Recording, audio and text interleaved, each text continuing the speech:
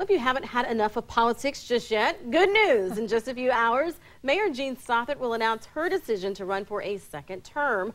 Already in the ring, Nebraska Senator Heath Mello. Yeah, Jenna Janes joins us now with how these two candidates stack up on one issue that many Nebraska business owners are concerned about. Good morning, Jenna.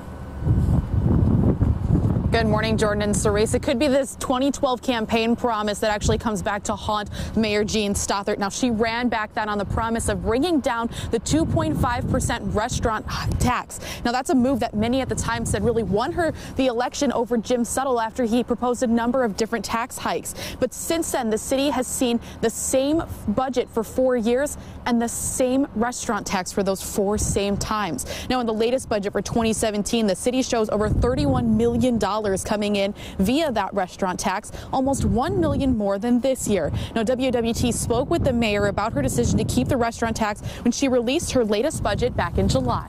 With that same amount of money for a restaurant tax reduction, I could have taken it from two and a half percent to two and a quarter percent. And I didn't think that that was going to provide the, the greatest amount of tax relief for our citizens in Omaha. Now, Heath Mello has said that while he's aware of the restaurant tax, he is, has no plans to repeal it as soon as he steps into office if he does win this race. But Jordan Cerise says he knows that it could leave a major gap in the budget that would have to be filled elsewhere. That he does say that the restaurant tax is something he would eventually like to see go away. I know a lot of people concerned about that tax. We'll see what happens. Jenna James reporting live this morning. Jenna, thank you.